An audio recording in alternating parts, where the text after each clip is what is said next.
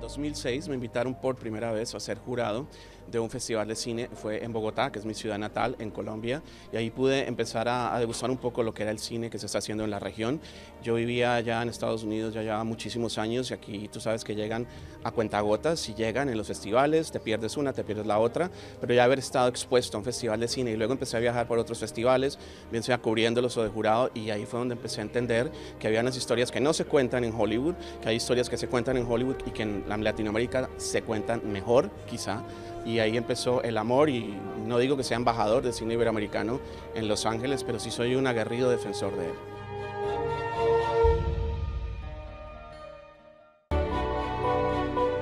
Tras el éxito de la primera edición en Panamá, donde se reunieron todas las estrellas y profesionales de nuestro cine para premiar a las mejores películas del 2013. Nuestros países se unen un año más para, ahora, traer a España, al Mediterráneo, una segunda edición llena de sorpresas, en el año en que nuestro cine ha brillado más que nunca. Situada en la costa andaluza,